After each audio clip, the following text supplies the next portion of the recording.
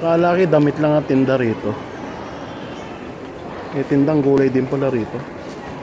Ano? Petetes. Sumingko na.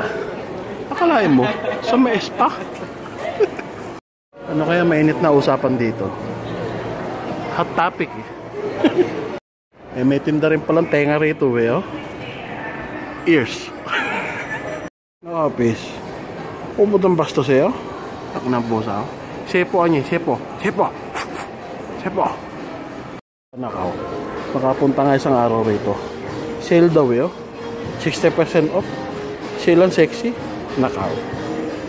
Kuya, wag po dyan, kuya. Kuya. Ano kaya tinda rito? Uhulaan mo pa raw eh.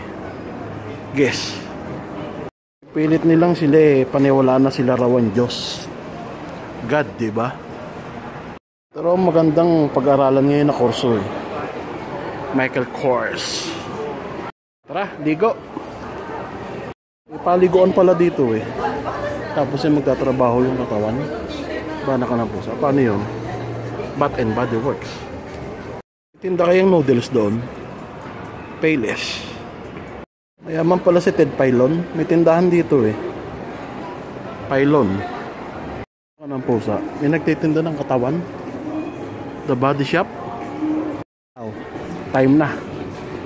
Bell na. Ano kaya yung lakad na sikat?